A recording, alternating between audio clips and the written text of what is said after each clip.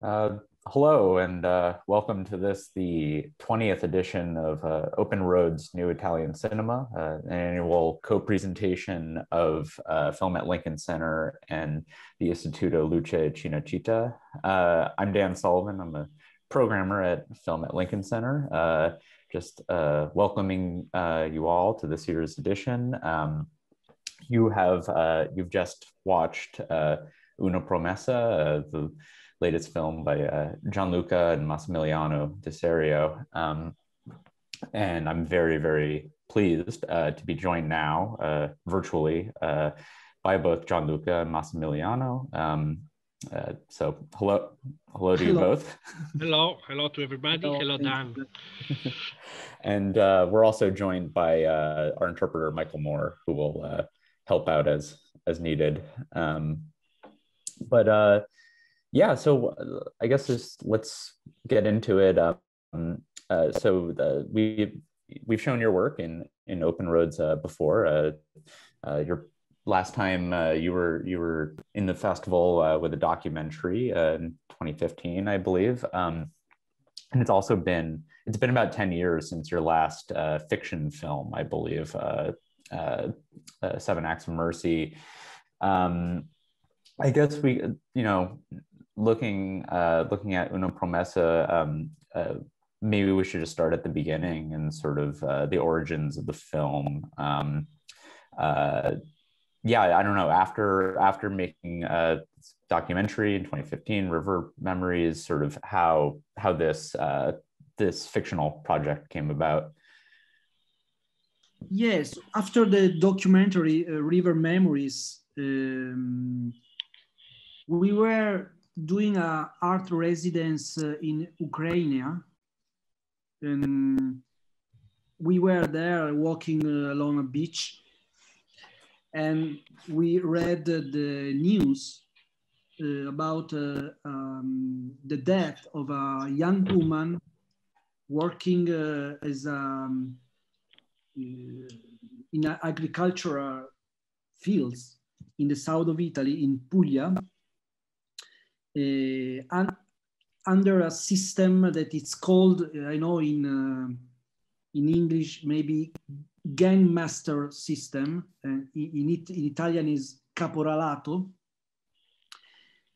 And the, our memory uh, went immediately uh, to a personal experience, biographical experience, uh, and that was the, the death of our grandmother, uh, that she died uh, in the same um, situation of this young woman, but in the, in the 50s, at the end of the 50s, eh, in the same area in Puglia.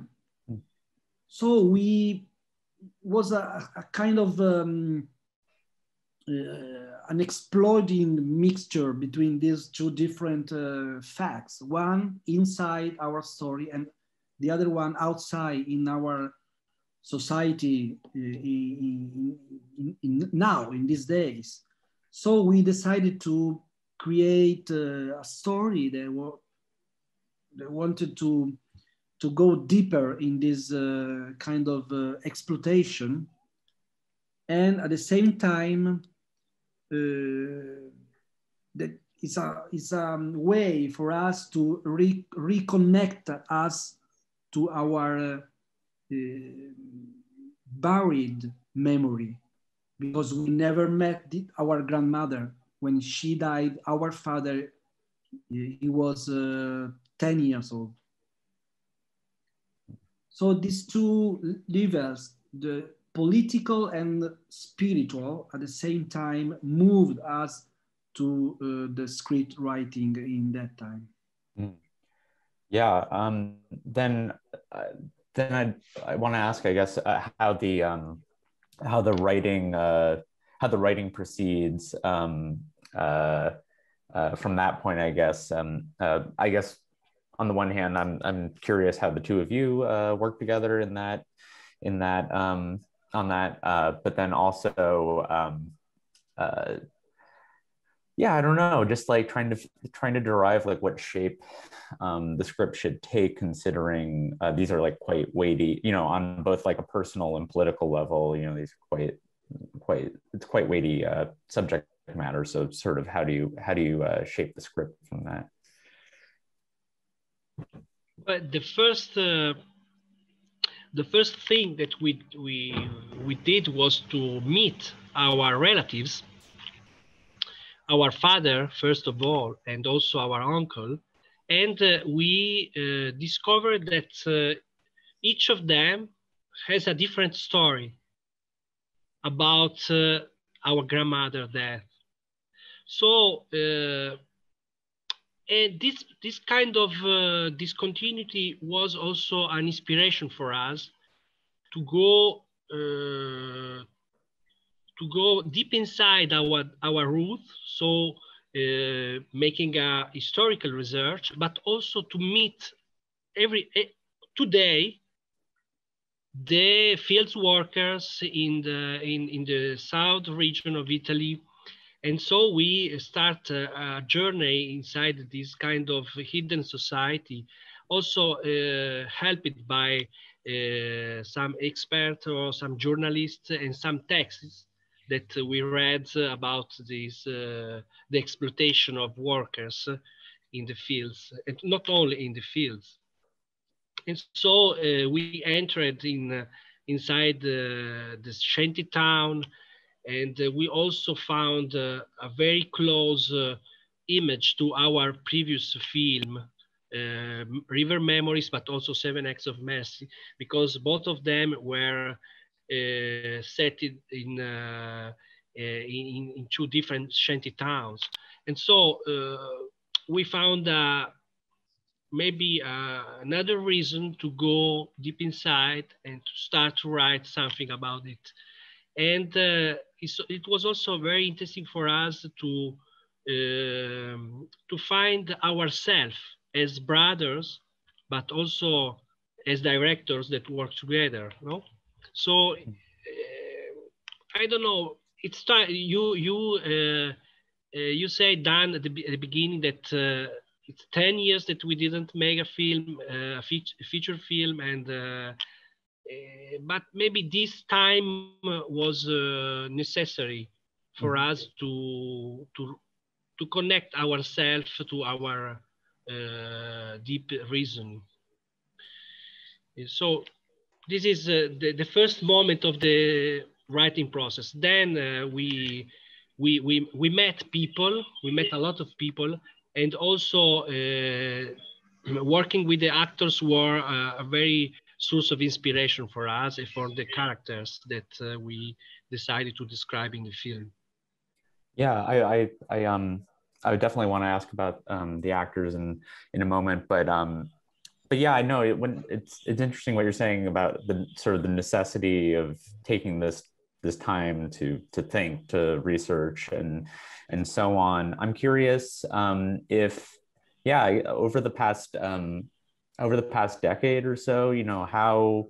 I guess I'm I'm in, because you you work in both documentary and fiction. I'm sort of um, I'm sort of curious like how do you see the relationship between these two aspects of your of your work um, and and whether that has maybe changed at all over the past uh, over the past decade of, of, of, of doing the two things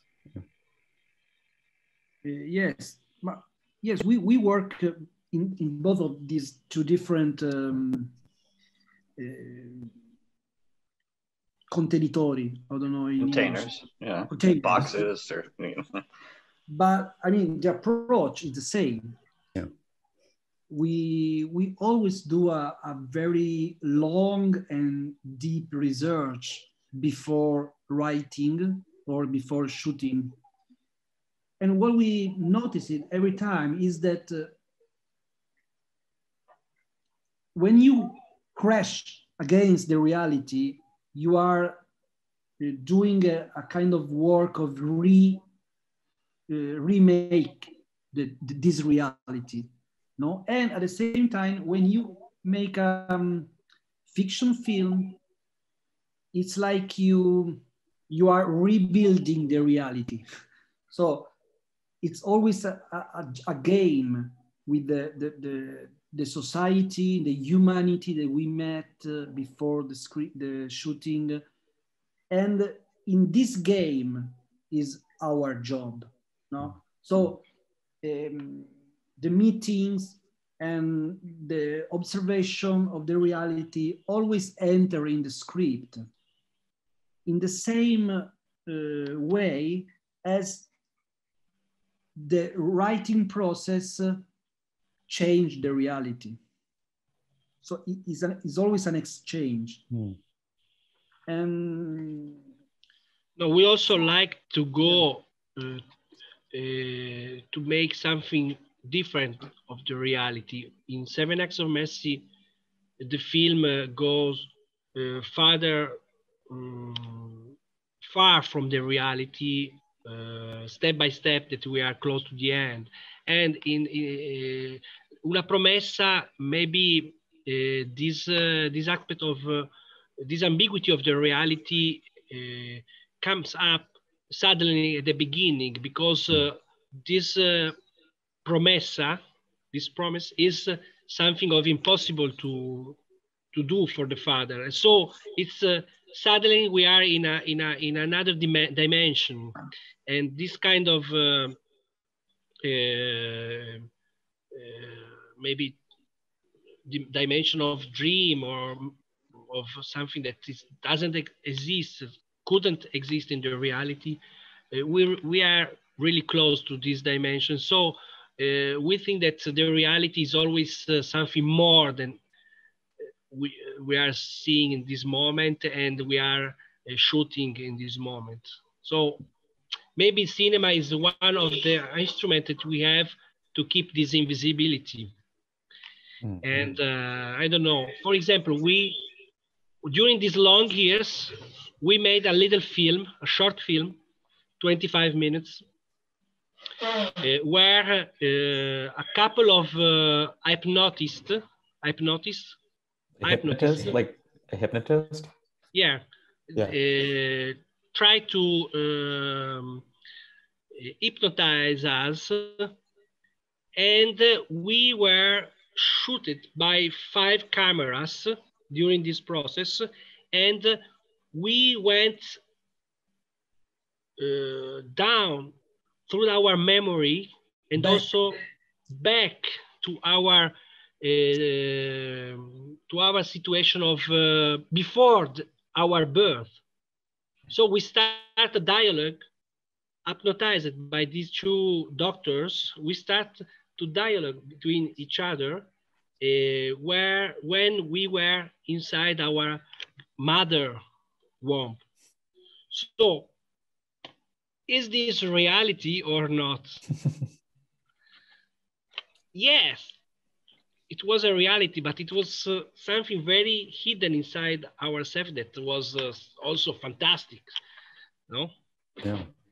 Yeah, it's like um, the fantasy within reality and the ra- reality within fantasy at the same time almost. Um, no, that's really that's really really interesting. Um, I guess I'd uh, I now want to turn to yeah, the, like I said, the uh, the actors um, sort of uh, yeah, get, given all this and and um, and I think um, the the kind of like uh, the duty I think that comes across in the in in your work, to, uh, like in terms of this kind of um, this portrayal of the contemporary of contemporary labor, the contemporary working class, and their situation, and so on. Um, could you tell us a bit about about uh, how the casting proceeded, and um, I guess maybe the uh, you know um, finding this balance? I mean. Uh, there are like a non-professional some non-professional actors in the film right um, so the you know this finding that kind of balance in terms of like who how you uh, who you populate the film with mm-hmm. yes but we try to to mix the cards i mean to shuffle the cards mm. and to use uh, different um, uh, actors or non-actors uh, together um, it, it was very amusing for us because the casting was long, was very different with different situations. But we were sure uh, since the beginning that the main actors, the father and the son, um, they had to be, I mean, obviously very different because uh, the man, I mean, the, the, father is big, it's fat, it's, it's uh, like a giant, and the little boy is small, is uh, like a um, very young creature, like a little animal. And these different uh, bodies, uh, we wanted to to always keep together in the film and they had to be uh, like a, an like an impossible uh, couple but the uni- unique couple possible. So it's a kind of oxymoron. So um, we had in mind from the beginning the face and the body of salvatore esposito the actor well known uh, not, not only in Italy for uh, the series Gomorrah. Mm. Because he, he has a mask very, um, I mean, very strong, very aggressive, but at the same time, it's like he hides a tenderness or childhood and uh, for the for the boy, we uh, we made a lot of casting and uh, almost one year of cast casting in uh, the schools, uh, in in the streets, in the football um, fields, and also uh, in the um, school of acting or something like that and we found uh, this uh, amazing actor and uh, really is an actor even if he is not yet a career but he, he has the strong the strength and also the um, the capacity to uh, keep himself uh, in the situation of the scene uh, like a, I mean, with a very quick way and like a, a machine. I mean, it's incredible. And and when uh, they meet each other, uh, we found that they the the, the, the meeting uh, of these two different bodies was perfect for us. Then for the others, uh, we uh, we, we met uh, uh, this very, I mean, new but important um, director, director and actress that is Licia Lanera. He, she comes from the theater and she she does a kind of theater very physical and very violent, but also full of uh, full of um, love and this uh, opposition inside herself uh, was very important for us uh, and for the role of Rosa in the film. And also the other, the, the big, uh, the master of the, this system in the countryside, very ugly. and it's like um, uh, a monster. And he, he also comes from the theater, is very known in the south of Italy. And he also uh, worked with Licia in different plays, so they know each other before the movie. And and also there is another actor that is, is called um, Giuseppe Loconsole that is a mixture of all these uh, different situations. He comes from theater, TV, and cinema. And also is uh, like a giant, like a very bad giant.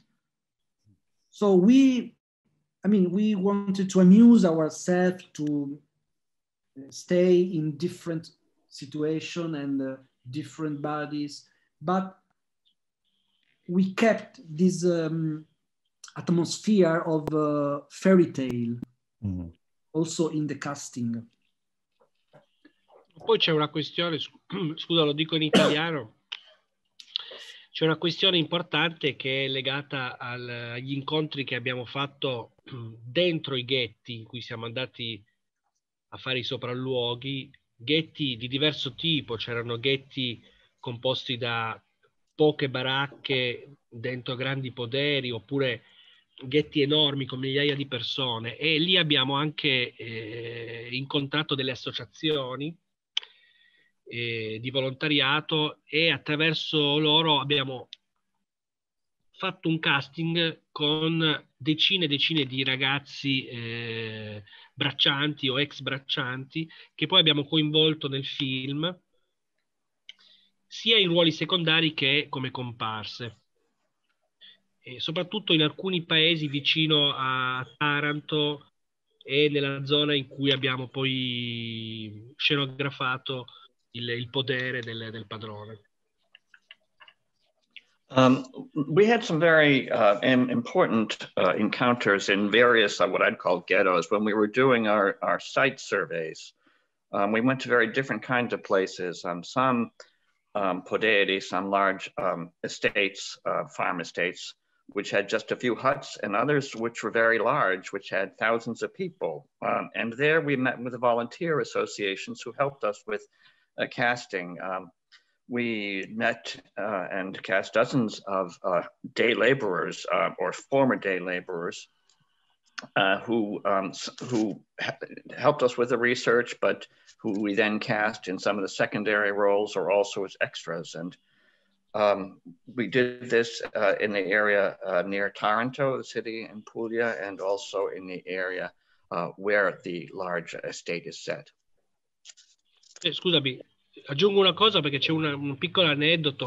Uno di questi eh, ragazzi che abbiamo incontrato è, que- è, il, è l'attore che fa il, il personaggio del, del, caporale africano. E quando si è, si è trovato nella situazione da noi scritta nella sceneggiatura di dover affrontare con un po' di violenza Giuseppe e Antò, lui ci ha detto: Ma questo è niente in confronto a quello che io ho vissuto nei campi, sulla mia pelle. È davvero poco questo momento di violenza che mi state facendo fare è molto più dura la vita. Non lo dico perché ci sono anche persone che sono rimaste un po' scioccate dal livello di violenza che mostriamo nel film, che a mio vedere è davvero un distillato di quello che succede nei campi e che viene raccontato nelle cronache, diciamo così, in realtà poco visibili anche nei mezzi di, di informazione.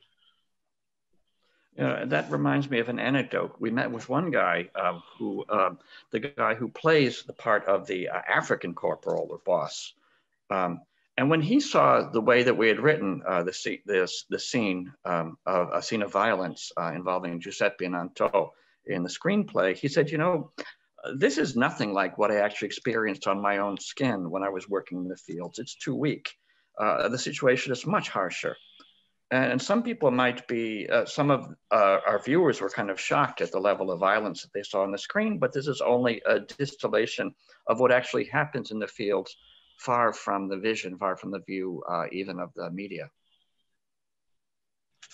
Thanks. Mike. Yeah, that's, um, yeah. And then I, I wanted to, I wanted to also ask about, um, about working, I guess, working with uh, the actors on set, but also the way that the two of you uh, work work together. Um, in this context, I think when there there's a film multiple directors, I'm always kind of interested in whether there's any um, sort of division of labor, as they say. Um, you know, who does what, kind of. But um, but also, I guess relatedly, I'm just wondering, and you're working with uh, this mix of professional and non-professional actors. You know, what sorts of what sorts of considerations, what sorts of conversations you're having while you're while you're actually shooting. And um, I think with the professional actors, I'd be especially interested to know if there's like because it seems like this kind of documentary authenticity is important is important on some level like when you're just describing like um, you know this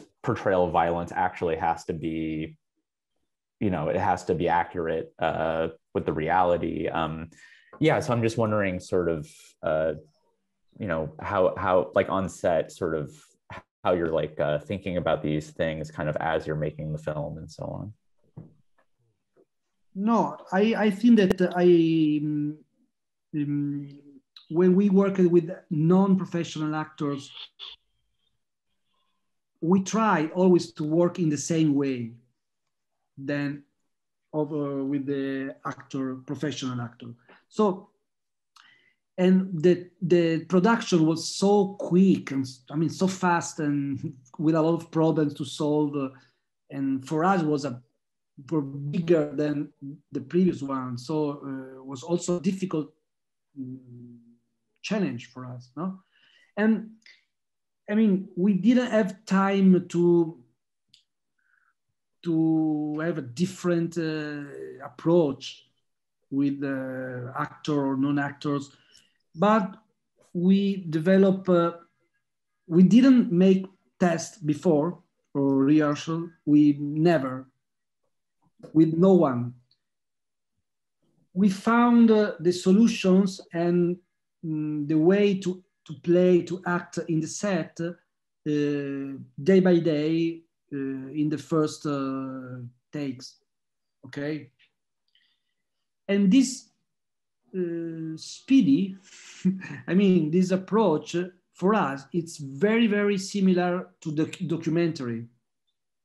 When you are in front of the reality and you have to choose the right angle and the better the best approach to this character or this situation. So uh, I think that uh, at the end, when we uh, rewatch the the scenes that we did in, in, the day, we found every time a kind of freshness.